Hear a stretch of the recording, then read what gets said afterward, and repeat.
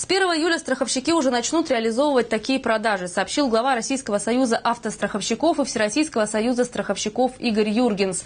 Такое нововведение позволит обходиться без посредников. Правила для всех едины, тарифы тоже, коэффициенты известны. Все стандартизировано. Поэтому, зайдя на сайт страховой компании, любой автовладелец смог бы оформить себе полис ОСАГО. Однако беда, полис должен быть распечатан на специальном бланке с большим количеством степеней защиты. Ведь именно его проверяют на дороге автоинспекторы. Для этого предлагается несколько вариантов, но первый и главный – это объединение баз ОСАГО и ГИБДД, хотя бы в части регистрационного учета транспорта.